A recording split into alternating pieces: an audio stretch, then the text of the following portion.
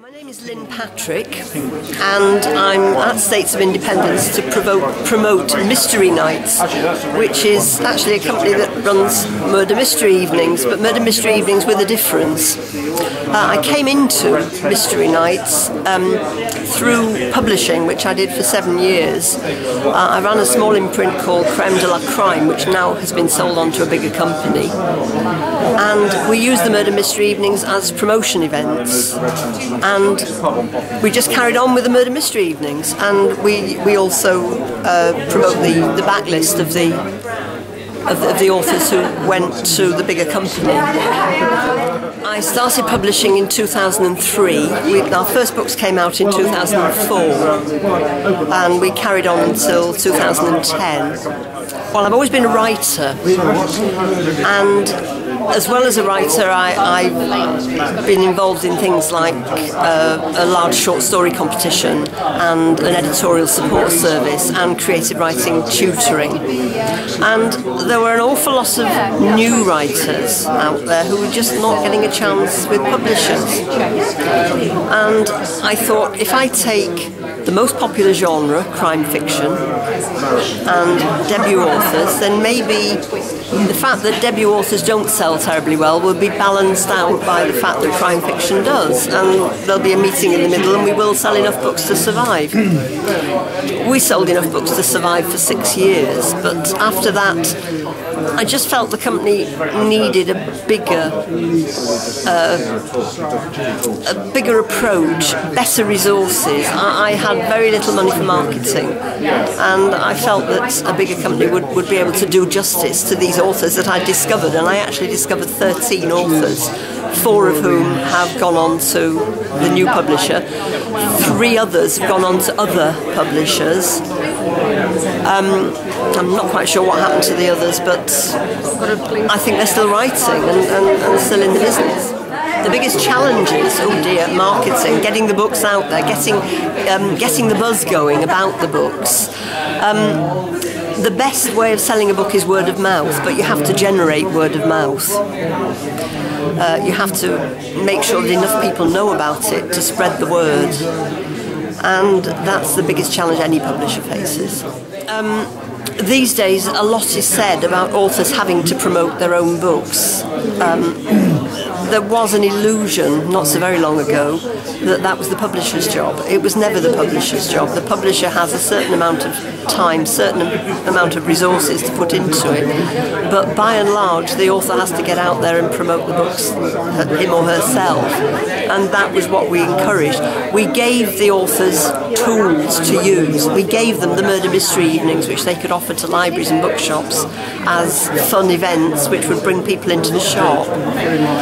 Um, when the, the murder mystery evenings were used uh, to promote the books, then we, we tied them in with the books. Uh, the the sleuth in the murder mystery evening was a character in a book, and in the book of an, the author who was running the event at the time. Uh, these days they're far more general, so um, it doesn't it doesn't work in the same way. Um, but yeah, that, that was really all we could do. It was before Facebook and Twitter became huge marketing tools. Um, we, we, we were just about coming to the end of our natural life, and, and I was preparing to, to, to, sell the company on when, when that was beginning to happen. Um, so our tools were basically the authors we were, we, we were publishing. What makes a good mystery book? characters, same as makes any good book, uh, characters that the reader can relate to. You, you know when you read, when you have certain expectations when you start to read a, a mystery novel. You know what's going to happen. You know that the triumph and the bad guy is going to get his comeuppance because that is the nature of mystery fiction. So you need something more. You need you need something in addition to the story, which has an ending which you can predict. You probably can't predict exactly how it's going to end, but you, you know approximately where you're going with it. Whereas if you have a character who you can engage with and relate to, and feel when you put the book down that you've lost a friend, then it's it kind of makes you want to go back to it. it also makes you want to read more by that same author about that same character. What would you advise uh, someone who's thinking of uh, starting their own publishing company Oh, these days? don't, don't do it. Why? Unless you've got an awful lot of money that you can invest in the first place and you're prepared to lose. Is it really that bad? Yes. Why? Because nobody's buying books anymore. And small companies don't have marketing resources. Promotion budget. It's, yeah, it's, you, you need a promotion budget. And you've, you've got to be able to go into, if you really want to sell some numbers, you've got to be able to go into Waterstones, give them their very large discount together with a promotional fee, and risk get excuse me, and risk getting 80% of the books returned after a month. So, what's the future of the book? Hopefully, hopefully you can still buy books, but it's going to go more and more towards e-books, I think. Now, in your view, is that a good thing or a bad thing? Depends on what the authors and the publishers get out of it, because one of the things is that there's there's a lot of pressure for e-books to be sold for practically nothing, and you'll end up with well, you lose the quality, basically. Where, where is this pressure coming from? Where's it coming from? People wanting to buy things cheap.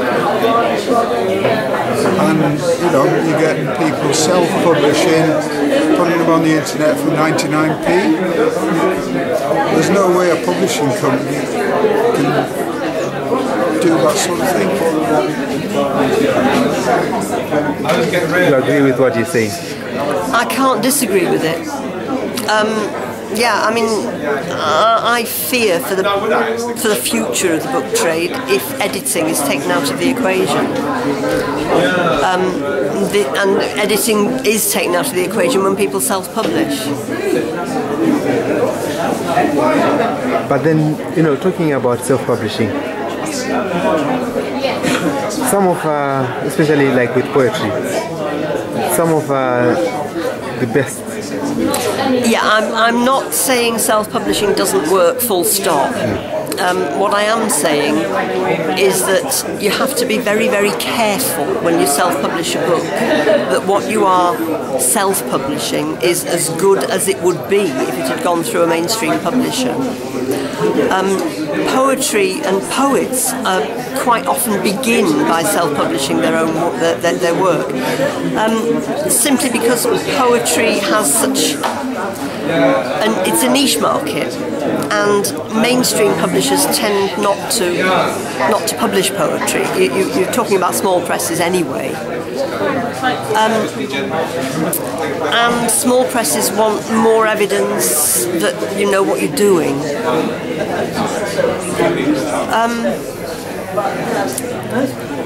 Self-publishing works. I, I don't know. My feeling is self-publishing works in, in a niche market, but for mass market thing, mass market fiction like crime, I think mainstream is probably more efficient and and will also ensure the quality of, of what's going out. I mean, what Jeff said about quality is, I think it's right. If people can buy a book at 99p and a book at 4.99, they're going to choose the 99p one. And the 99p one is not necessarily a book that has gone through a proper editorial process. And books do need editors, there's no doubt whatsoever in my mind about that.